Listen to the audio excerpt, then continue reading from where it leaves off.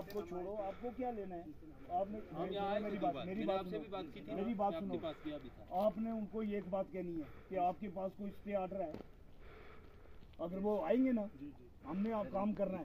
आपके पास कोई stay order है तो हमें बताओ। में छुप कर बात नहीं करते नहीं नहीं नहीं नहीं सामने बात करो। नहीं है ना इसका साइज़ नहीं लिखा के बात खाली आठ फ़र्क लिखा हुआ है डिज़ाइन नहीं है ना इसका डिज़ाइन वो भी बिल्कुल वो निकालेंगे फ़ाइल फ़ाइल निकाल देंगे कितना कितने बाई कितना बनाना है? प्लेटफॉर्म वो सब you are not you should not अफे डरना नहीं है किसी से कि वो कोई कहेगा कोई कि क्यों कर रहे हो हमारी जगह? उनको बोलो आपके पास स्टे ऑर्डर है तो लो हम बंद कर देंगे। स्टे ऑर्डर नहीं है तो हमें ये अलॉट हुआ काम हमने करना।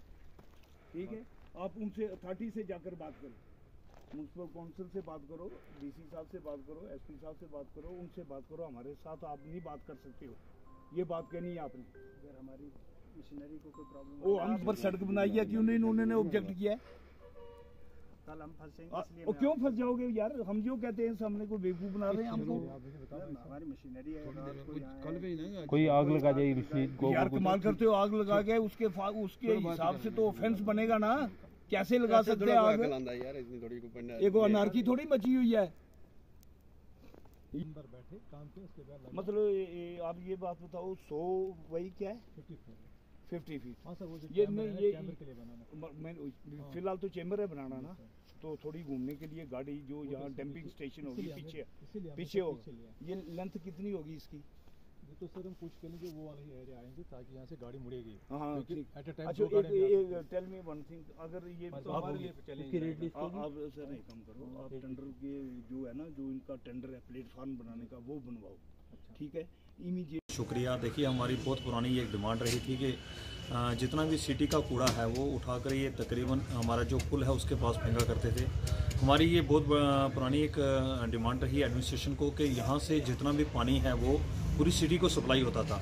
तो हमने कई बार आपके चैनल और आज उसका एक असर दिखने में आया है कि डिस्ट्रिक्ट एडमिनिस्ट्रेशन ने जो मशीनरीज तकरीबन दो तीन साल से पड़ी हुई थी, जो कूड़ा करकट जो हमारा एक उन्होंने प्लेस जो पहले बताया था कि वहाँ उसको लगाना है उस पर नहीं फेंकते फेंका जा रहा था म्यूनसिपलिटी की ओर से। और अब जो आपकी न्यूज़ का असर हुआ, उस पे, उसकी वजह से जो एक मशीनरीज थी, वो भी लगने, लगनी शुरू हो गई है।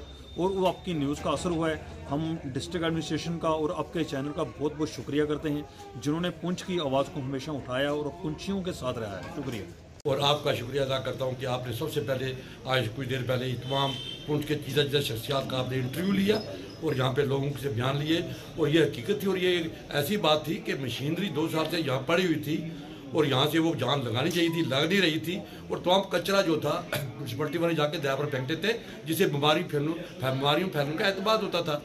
आज मैं जिस कंसर्न सेक्रेटरी साहब का कमिश्नर का म्यूनसिपलिटी का, यहाँ के एडमिनिस्ट्रेशन का और डीसी साहब का सब लोगों का शुक्रिया अदा करता हूँ कि जिन लोगों ने ये ये, ये लबैक किया को तमाम लोगों की बातों को लबैक किया सुना उसके बाद ये लग रही है पार मशीनरी। इससे ये होगा कि बीमारियाँ खत्म होंगी एक डिस्पोजल होगा जिस यहाँ पे मशीनरी होगी तो इससे हज़ारों में का तो बीमारियाँ दूर शुरू होंगी। आज के मौके पर मैं सबका शुक्रिया अदा करता हूँ। जिस जिसने भी इसमें काम किया और खास तौर पर में एडमिनिस्ट्रेशन का और देने पर ये एक्शन जो हुआ है बर वक्त हुआ है इसमें तमाम लोगों को तमाम लोग जो है उनकी जानों से हम शुक्रिया अदा करते हैं।